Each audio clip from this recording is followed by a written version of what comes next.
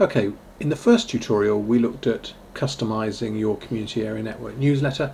In this one we're going to actually look at editing the content before you send it out to your to your network.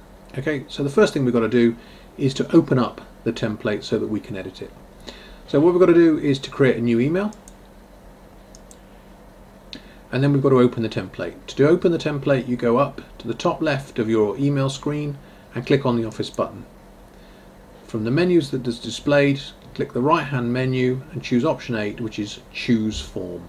Click on choose form and then from the dialog box make sure that your personal libraries your personal forms library is selected and then highlight your newsletter template and open it and there we have it inserted into your email ready to go you might want to take your normal salutations off of the bottom of that uh, if you if you've got them in your let's just get rid of those. I don't know why I've got so many. What am I doing? Rubbish. Rubbish rubbish rubbish. Okay so there's the template ready for you to edit. Now what we've got to do is edit the content in this table. Now to the best way to, to before you start uh, editing this template is to click into the template anywhere and you'll see that on the top of the email you've got a number of tabs are highlighted.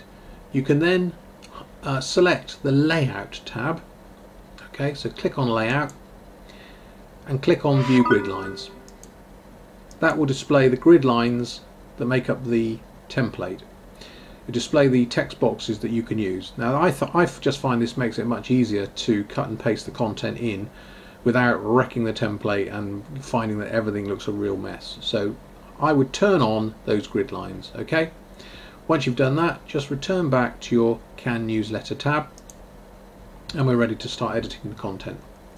Now, in the first box, I've included two what I call headline items. These are perhaps two of the most interesting items that have been posted on your blog site in the last couple of weeks.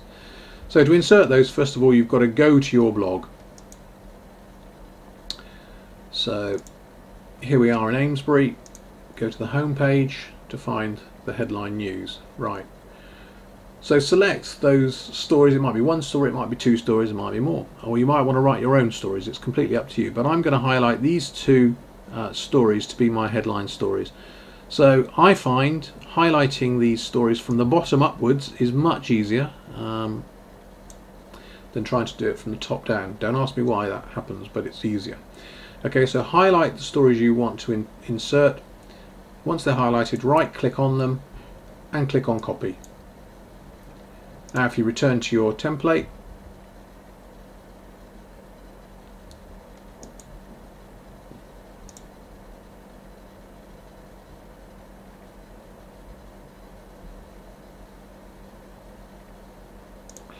Right, that took time, sorry, but if you return to your own template, all you do then is highlight the stories you want to replace,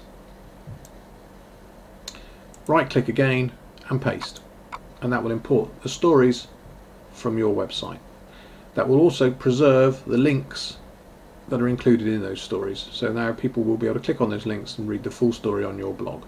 It's also inserted the pictures. I don't want the pictures because they make things rather clunky. I'm taking those out so let's get rid of the pictures. And I don't think we need the dates, all a bit superfluous, so let's just remove those and any gaps. Fiddle with the formatting slightly to make it look attractive. And there you now have two stories inserted into your newsletter ready to go. Okay, now the thing you'll notice is that they don't necessarily um, line up exactly with the formatting of the template. So all you have to do is to highlight the text and bring it all into line. There we go, very neat. And you know I'm a stickler for neatness. So there we are, we now have your two headline stories inserted. You may want to just check the text reads right, right or to make any changes you want to to that text. The next thing is to include the short links to the to the news items on your blog. So again we go back to your blog site and this time we want to select the short links in this section of the newsletter. Again I work from the bottom up much easier. Highlight them all, right click and copy. and then we return to a newsletter, highlight the links in your newsletter, right click and paste. Now you'll see that it's imported quite a lot of rubbish so we want just to tidy that up by taking out little bits and pieces that it's included. That will tidy that up.